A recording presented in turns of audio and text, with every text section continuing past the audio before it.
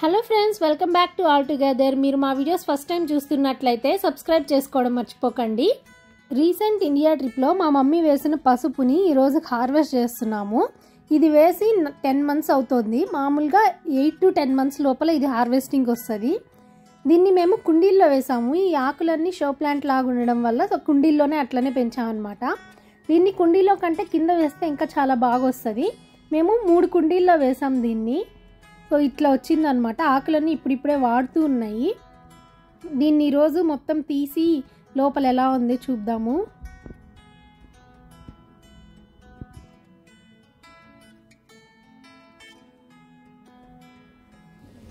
దీనికి కింద పసుపు వచ్చేసింది అని ఎలా తెలుస్తుంది అని అంటే ఈ పైన ఊరికే చేత్తో అట్లా అట్లా అన్నప్పుడు ఆ పసుపు కొమ్ములు పైనే కనిపిస్తూ ఉంటుంది అనమాట ఆ టైంలో మనం తెలుసుకోవచ్చు దానికి ఆల్రెడీ పసుపు వచ్చింది అని.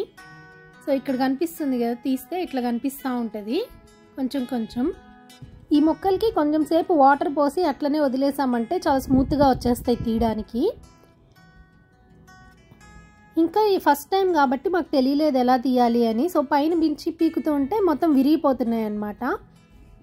ఈ కుండీలో అయితే ఎక్కువ లేదు చాలా సన్నగా వచ్చాయి కొమ్ములు కూడా. ఎందుకంటే ఇది జస్ట్ ఆకుకూరలు అలా వేసుకునే కుండి ఎక్కువ లోతు ఉండదు సో అందుకని చాలా తక్కువ వచ్చింది దీంట్లో తీస్తుంటే.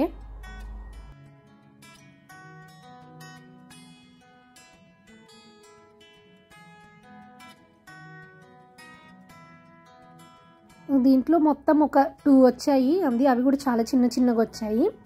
ఇంకో కుండీలో అయితే బయటికి బాగా పెద్ద పెద్దగా కనిపిస్తూ ఉందన్నమాట. దీన్ని తీసి చూడాలి లోపల ఎంత వస్తుంది అని.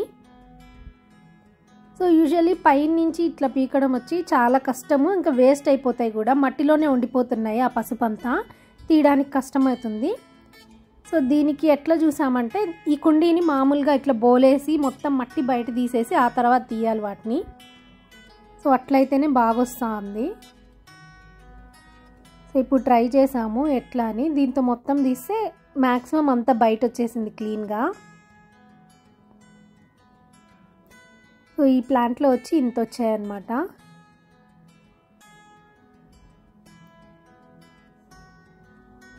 సో ఎల్లో కూడా కాదు అదొక ఆరెంజ్ కలర్లో ఉన్నాయి. ఇంకా స్మెల్ అయితే చాలా బాగా వస్తుంది తీస్తా అంటే. ఒరిజినల్ పసుపు స్మెల్లే ఇంకా కలర్ కూడా అట్లనే ఉంది. చాలా డార్క్ ఆరెంజ్ ఉన్నట్లు.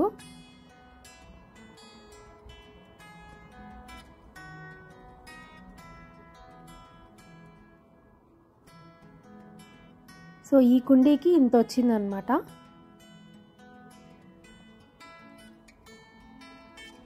చూడండి కలర్ డార్క్ ఆరెంజ్ అట్లా వస్తుంది. ఇది విరిగిపోయింది.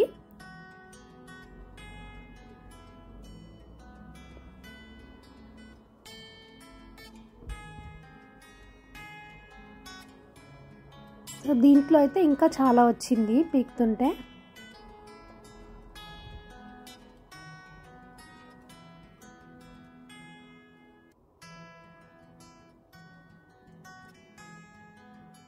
ఈ మందులో ఎక్కువ వాటర్ కూడా పోయలేదన్నమాట. అందుకే మొత్తం స్టక్ అయిపోతున్నాయి లోపల.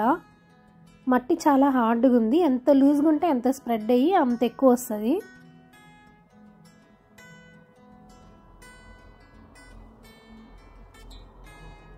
దీనికి కొంచెం పర్లేదు బాగానే వచ్చింది. సేమ్ ఇదే టైప్లో అల్లం కూడా వేసుకోవచ్చు మనము. ఒకసారి వేసాం మేము అల్లం కూడా బట్ సేమ్ ఇట్లనే వచ్చింది. కాకపోతే అది వన్ ఇయర్ హార్వెస్ట్ అవుతుంది. సో ఇంక ఇవన్నీ తుంచేసి ఆకులతో ఏం చేసుకోలేము పారేయాలి.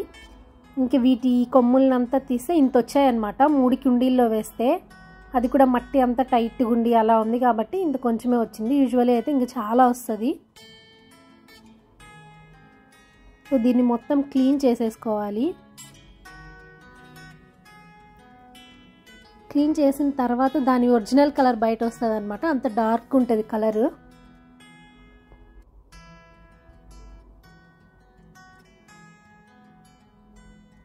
సో ఇది కూరలోకి వేసుకోవచ్చు లేదా యూజువల్గా దేవుడి దగ్గరికి అట్లయినా వాడుకోవచ్చు. సో మామూలుగా యూజ్ చేయడానికి దానికి టూ డిఫరెంట్ టైప్స్ ఉంటాయి అన్నమాట కూరల్లో వాడుకోవాలంటే దీన్ని ఉడక ఎండబెట్టి ఉడకబెట్టి మళ్ళీ ఎండబెట్టి పౌడర్ చేసుకోవాలి. నార్మల్ యూస్కి అయితే యూజ్ నార్మల్గానే ఎండబెట్టి పౌడర్ చేసుకోవచ్చు. సో మాకు తక్కువ వచ్చింది కాబట్టి మేము ఎండబెట్టి మళ్ళా ఉడకబెట్టి దాన్ని పౌడర్ చేయట్లేదు. డైరెక్ట్గా ఎండబెట్టి వాడుకుందాం అనుకుంటున్నాం అనమాట సో దీనికి వేర్లంతా ఉన్నాయి. సో లాస్ట్కి కడిగితే దీని కలర్ చూడండి. దా ఆరెంజ్ ఉంది అసలు ఎల్లో కూడా కాదు ఆరెంజ్కి వచ్చింది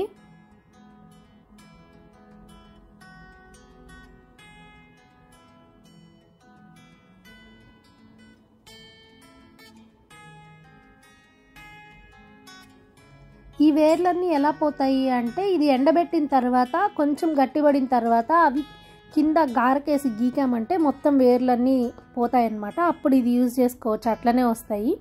ఇప్పుడు ఇలా కనిపిస్తున్నాయి కదా ఎండబెట్టిన తర్వాత ఇంకా చాలా సన్నగా అయిపోతాయి వీటిని. సో ఆల్మోస్ట్ ఒక టెన్ డేస్ ఫిఫ్టీన్ డేస్ పడుతుంది ఎండడానికి అప్పుడు చాలా సన్నగా అయిపోతాయి.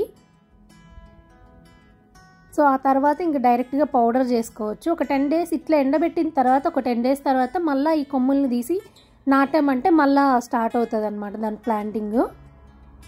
అట్ లాస్ట్ మూడు కుండీలకి కలిపి ఇంత వచ్చిందనమాట పసుపు. ఇవే మిస్టేక్స్ రిపీట్ చేయకుండా చేస్తే హార్వెస్ట్ ఇంకా చాలా వస్తుంది. మీకు ఈ వీడియో నచ్చినట్లయితే లైక్ చేయండి అలాగే సబ్స్క్రైబ్ చేసుకోవడం మర్చిపోకండి.